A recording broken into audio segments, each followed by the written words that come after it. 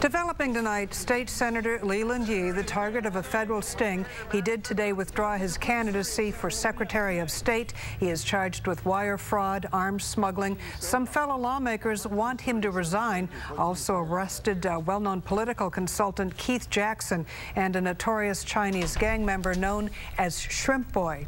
Yee's alleged connection to illegal firearms, that came as a real shock to people who knew him as a crusader for gun control. Grant Lodes is here with the gleeful reaction from the gun lobby. Grant? Yeah, interesting twist. Check it out. Within hours of Senator Yee's arrest, the National Rifle Association was tweeting its members about the downfall of one of its most vocal opponents.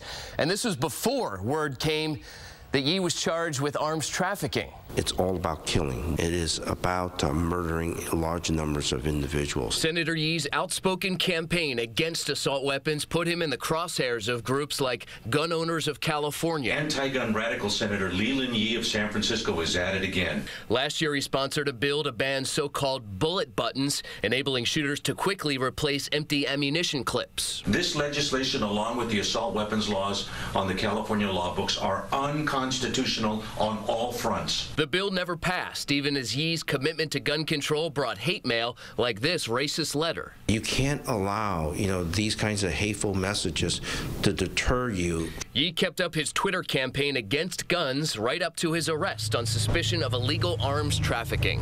What can you say about this? Yee's arrest also made headlines in the video game world. He was a vocal opponent of violent video games and sponsored legislation restricting their sales to minors. If you'd like to see the entire criminal complaint, it's more than 100 pages. We've posted it on KRON4.com.